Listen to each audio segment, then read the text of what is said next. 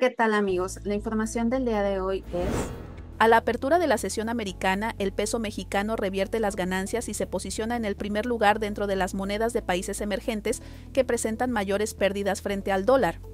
Hoy el tipo de cambio pierde su fortaleza de las últimas sesiones y repunta tras validar un mínimo de casi un mes mientras los mercados esperan la decisión de política monetaria de la Fed mañana.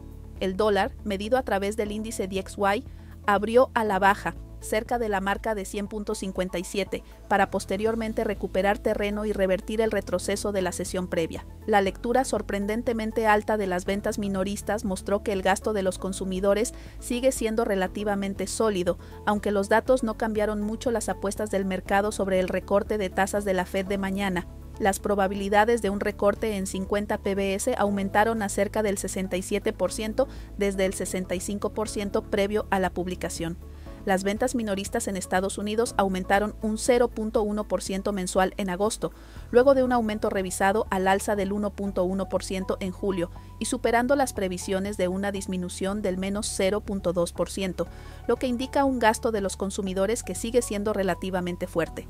Los mayores aumentos se observaron en las ventas en tiendas misceláneas, minoristas no físicos y tiendas de salud y cuidado personal, por otro lado, las ventas disminuyeron en las estaciones de servicio y tiendas de electrónica y electrodomésticos. Hasta aquí mi comentario. Mi nombre es Janet Quiroz y soy directora de análisis en Monex.